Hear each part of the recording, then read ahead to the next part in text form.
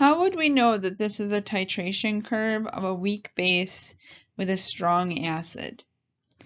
Well, first off, we look at the initial pH and we can see that it is above 7, so we know that inside our flask we have something that is basic. We can see that the portion of the curve near the equivalence point is not quite as steep as it would be with a strong acid or um, that was being titrated. And we can also look at the equivalence point. And we notice that it is in the acidic range, which means that it is not 7, so we know it is not a strong base with a strong acid. Because it's acidic, that means that uh, our conjugate acid of our weak base has a pH less than 7, and this helps to tell us that it is a weak base being titrated with a strong acid.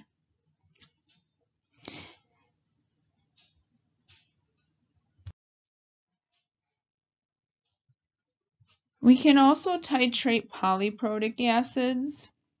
So we've been looking at monoprotic up to this point, but polyprotic we can tell because there are two different equivalence points or two portions of the curve that have a, a steep incline.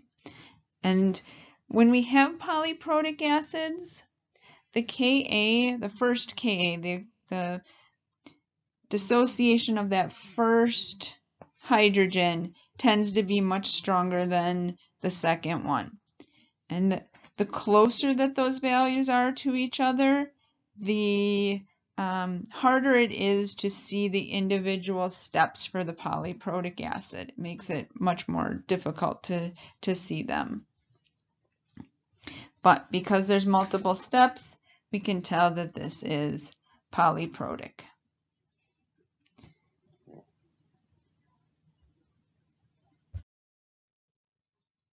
There's lots of different ways that we can monitor the pH during a titration.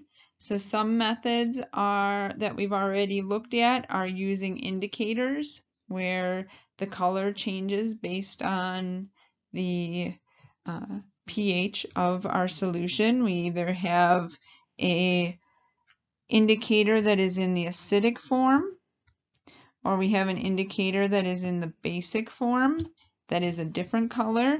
And so this particular example is phenolphthalein, where in the acidic form it's clear, and in the basic form it becomes a, a fuchsia or a pink color. We can also use a pH in, uh, pH monitor. Okay. And we can do this because there are special electrodes that we can add into our solution that change and the conductivity changes based on the H3O plus concentration. And this allows us to tell the pH at any particular time. Using these probes, that's how we generally draw the, the titration curves of our solutions.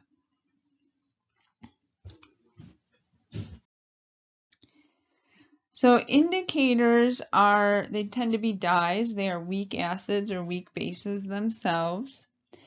And they establish an equilibrium.